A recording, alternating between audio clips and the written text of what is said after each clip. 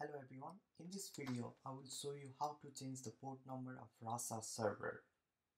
By default, Rasa server runs on port 5005 but sometimes you need to change the port number to run the Rasa server. So let's see how we can do this. So first let's run the Rasa server with the command rasa run.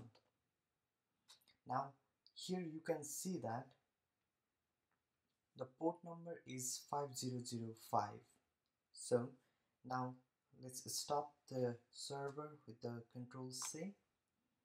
Now hit this command rasa run minus p and give the port number. Now let's say we want to run this server in 5055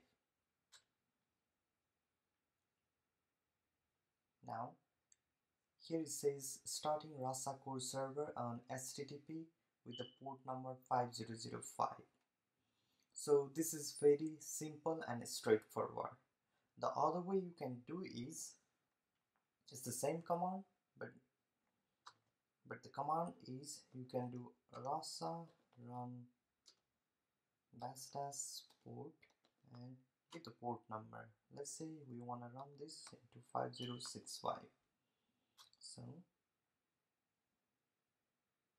now here you can see that the server is running on port 50665 so let's con let's stop this server and I hope